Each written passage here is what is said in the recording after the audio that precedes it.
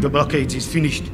We dare not go against it, Jedi. Viceroy, I don't want this stunted slime in my sight again. What's up, meta nerds? This video is going to pull from all the legends and canon sources out there to understand the Neimoidian species, from their biology, culture, history, and impact on the galaxy. Their story begins at grid coordinates M10 in the Colonies region, on the planet Neimoidia. Their homeworld was the third rock from the sun, in a star system that had four planets, with a total of 25 moons. Their celestial neighbors ranged from molten rock, a toxic wasteland, and an extremely mineral-rich asteroid belt named Saak-Suun, which was between them and the gas giant. Neimoidia was a terrestrial world with a Class 1 atmosphere breathable to most species, close in size to Coruscant at 10,830 kilometers in diameter, and covered in deserts, fields, and rainforests. And to understand their biology, we actually have to look at their history first, as they are an evolutionary offshoot of the Duros. Just don't say that to their face. Around 25,000 years before the Battle of Yavin, a colony of Duros were established on Neimoidia under their great leader Chal Kahan. The leader and his followers were essentially forced off-world, though the details of why this happened are unknown. Perhaps political violence or a religious cult. We just get the vague fall from grace in Duros culture. And in his later years, Chalal wrote the Encyclical of Historical Greatness, which pushed his fellow Neimoidian colonists to try to embrace and maintain their old Duros heritage. Though the language Pakpak is believed to be derived from Duros, it rapidly diverged to become a distinct language, with Pakpak referring to not just the musical quality of their guttural croaks, but also the subtle hand movements and body language that added meanings to words. nebaga imana, naki naya, bila unya kamna which all made it a very difficult language for any alien race to pick up, and is why we almost always see them speaking Galactic Basic. Over several generations, the effects of the much greater gravitational force on Neimoidia was having obvious effects. You can see the ancestry in their nose down to their chin, and their red eyes with that line through them, but the cranium shape becomes more rounded, with thicker, more protruding bones. While the change in skin color is likely more due to changes in the atmosphere and diets, specifically the dimmer star, and frequent fog and mist that would have often cloaked this colony world. The weirdness of the biology starts with the fact that the females show signs of once having given birth via eggs, but they all give live birth to grubs. These would live in communal hives until the age of 7. All the parents left their grubs in these state-run facilities seemingly without further contact, where they were intentionally given inadequate amounts of food, with the purpose of breeding generations that were increasingly treacherous, as the grubs would either forcibly take or find clever ways to steal and store their food in order to survive. Perhaps due to the intense requirements of those original settlers who built a civilization from nothing on a far-off alien world. They felt this system produced the kind of adults needed to survive in this harsh galaxy. But it isn't like this produced a fierce warrior people like the Mandalorians, who wanted only the powerful to rule and believed might made right. Instead, the Neimoidians were the worst of both worlds. They were willing to kill anyone who stood in their way, but would do it through backstabbing. And being traumatized by their upbringing, almost all of them were fearful and greedy, with weak minds and a fetish for centralized power and absolute authority held in their leaders. Could not entirely let go of their natural tendency towards subterfuge. They sought duplicity and guile the way a young grub seeks the safety and warmth of its sleeping niche in the communal hive. Many Coruscanti researchers point out how the original vision of the droid army being controlled by a central command was such an obvious design structure for the Neimoidians that they didn't even consider its weakness if that head was cut off. The top-down control of the droid army was an extension of their culture. By 22,000 BBY, they joined the Republic, and while the galactic government tried to crack down on some abusive practices, like fighting the Zygerians and trying to end slavery, it is unlikely other senators really knew what was going on in Neimoidian space. Almost all of them tried to repress their memories of their homeworld and upbringing, rising up in the companies that were the precursors to the Trade Federation, being one of the most active people during the expansionist period of the Old Republic era, where the most conniving of them led the movements to colonize dozens of nearby planets. The most lucrative were called purse worlds, and these would also serve as the administrative HQs of the fractured corpo states that led the expansion. The most notable purse worlds being Cato Neimoidia, Deco Neimoidia, and Koru Neimoidia. You can see they got a thing for branding and making sure everybody knew they were from the rejected colonists of Neimoidia, not Duros. A distinction their evolutionary cousins were happy to help with. While Neimoidians had a chip on their shoulder trying to prove their distinct society, the Duros were tired of being conflated with the cowardly, lazy, greedy people. Just looking at that cowardly part alone, there was a saying that Neimoidians were the only species with an organ dedicated to worrying, which was really just a quirk in their lung pods, that when they were stressed, the lungs grew in size and convulsed in a strange pattern that made it look like a series of separate organs firing under the skin. Stress could also cause this mottled look in their skin, though some would get this look simply from overeating and they were known to turn a bright pink when nauseated, while doctors often joke that the quote, principal export of the Neimoidian home planet is brainworm rot type C. This disease was just one of thousands that were known to be found breeding in these skin folds, and is why many looked at them as a kind of dirty rat species. Because since the time of the Old Republic, they were uniquely notorious disease carriers. And Coruscant even had to forbid travelers from Neimoidia, and quarantine their homeworld altogether from galactic trade and travel on several different occasions something I've not seen for any other planet in the galaxy. There has never been a direct answer for why the case of disease and parasites is so high with them, but some point to their farming. Most of the income on these purse worlds came from their rather ingenious system of fungus farms. Clever in how nothing went to waste, and that it was a self-perpetuating method where the insect hives, beetle hatcheries, and fungus all fed into each other, creating a perfectly cultivated circle of life, or as its owners saw it, an infinite money cheat code which produced food, medicine, and chemical compounds that they essentially had a monopoly on. They openly bragged about how efficient this system was in distributing their population as well, as the smarter ones rose to manage farms, then entire continents and planets, while the dumb Neimoidians worked the actual facilities to make sure the fungus and insectoid livestock were cared for and processed, with increasingly dumber Neimoidians working on the lower ranking worlds, with jewels like Cato Neimoidia having the best of the worst lower classes, while their home world Neimoidia was considered a hell world were those grubs who barely escaped starvation in those first seven years of life, whose IQ was so low and their guile so absent that their superiors were surprised they were smart enough to breed. Those worst of the worst worked in the foggy fungal farms. Everyone else wanted to get out of their homeworld as quickly as possible, never returning and seeing it as a torturous prison. And I think this is the best explanation for their uniquely bad hygiene, as their leadership got a kick out of making an example of the workers on Neimoidia publicly explaining that they feed them less even in adulthood in order to keep their willpower low and function just at maintenance to tend the fungus, but never get any creative ideas like rebellion or a labor strike. And most off-world Neimoidians agreed that this was apt punishment for being so weak since the time of the grub hive. While in the back of their minds, they knew that if you failed in business and dropped in social status, you might fall all the way down into these pits of the brainworm infested hell which only helped to keep those off-world both vicious and in constant fear, which addled everything from their nerves to skin. 4800 BBY saw them expanding into drug dealing, specifically from other species' native medicines, buying up rights to become the exclusive providers of Ryll, the spice from Ryloth that was so potent and addictive that it would later attract the Hutts. And with Neimoidian distribution, whole new epidemics were spread, this time not from the petri dish that was their body, but several species were experiencing mass addictions and death rates only seen at a time of war. Gank were a species famous for their high-tech arms and armor that allowed them to be a go-to people for large bounty hunting missions and private military contracts. Neimoidians hired them to put down what felt like a zombie apocalypse, when the Porporite species became mindlessly homicidal when exposed to real spice. The Neimoidians gave orders to protect their spice facilities at all costs, but the gank mercs were proactive and not waiting for the next wave of zombies to attack them, but went out and systematically slaughtered the entire native population leading to the extinction of the Porporites. And it was around this time that the surplus of credits from drug dealing went into fabulous clothing,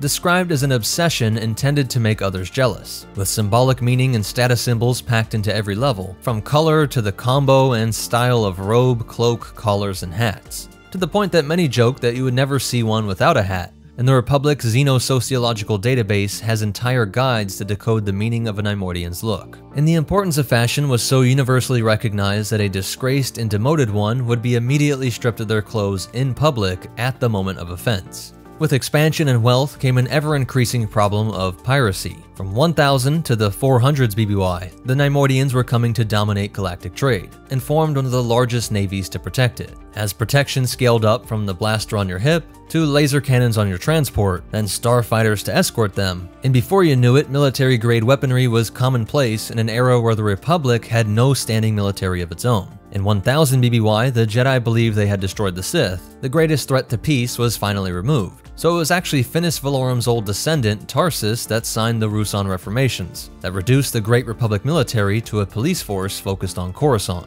and let the Jedi get back to being esoteric monks, leaving the rest of the galaxy to look out for itself. There are countless systems who look to the Neimoidian run businesses as the lifeline for their community, providing all the employment opportunities and protection from pirates. This is why in 350 BBY, the Trade Federation was formed, with the Republic's blessing, granting them unique charters and trying to do what it could to incentivize economic growth in the expansion regions and allow these corporations to defend themselves. Despite their cowardly reputation as a species, their warriors were respected and their special forces were feared throughout the galaxy. While there was not anything the size of the CIS or Grand Army of the Republic, there were still a ton of violent pirate groups and private militaries, so the Neimoidian Royal Guard should be considered top tier. Called Royal for their service to what was being called the Trade Monarch, one who was head of the Neimoidian Inner Circle. This monarch would coordinate with the senator and was on the board of the Trade Federation and was often elected to be the commanding viceroy. So there were times where the monarch would rule Neimoidian space and wield power in the larger corporate federation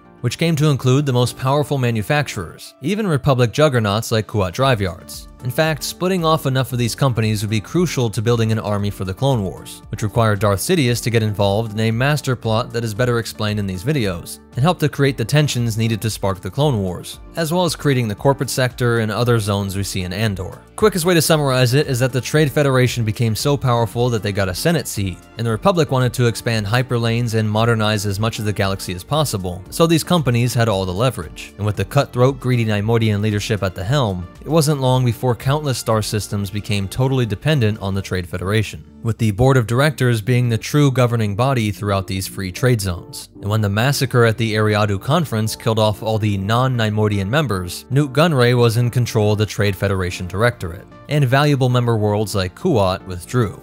Sidious predicted the next step, that Valorum would push for a taxation of the free trade zones and attempt to break up Trade Federation power forcing all those affected to become even closer allies, aligning the interests of the Intergalactic Banking Clan, Corporate Alliance, and Techno Union against the Republic. The Trade Federation had recently created a new line of defense droids to protect their ships and facilities, working with the Geonosians of Bactoid Armor Workshops to create the B-1, a design that was said to mirror both the Geonosian frame, but also resembled what a dead Neimoidian looked like. When they died, their bodies rapidly dried up, leaving this big oval head on a thin skeletal frame. And then there were the massive trade haulers like the Lucrehulk that had been ever increasing in firepower for years, with the addition of Vulture droid starfighters to protect against the greatest piracy of this era, even with a ground force to protect on-world facilities, protecting them from hostile locals that were either spiced out of their minds or forming another violent Union resistance. The Trade Federation military was legal, but their next move was debatable.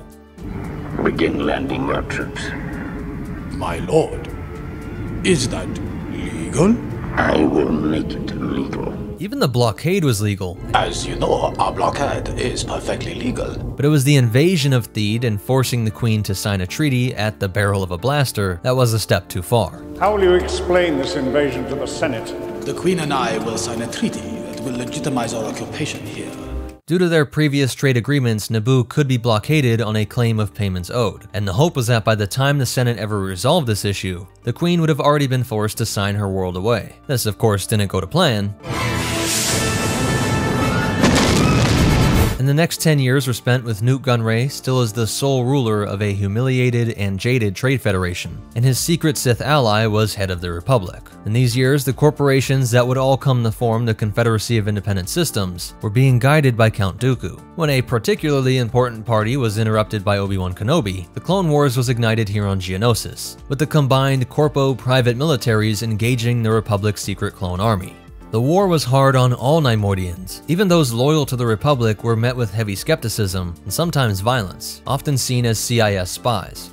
It didn't help that Nute Gunray was hitting all those old stereotypes, and were seen as the most important element in the Confederacy. Though we see the greatest examples of Neimoidian warriors of this time as well, with the Gunnery Battalion, drawing on ancient designs of their Beetle Knight armor, utilizing powerful blaster pistols, developing specialized units like snipers and genetically modified giants dubbed the Neimoidian Brutes.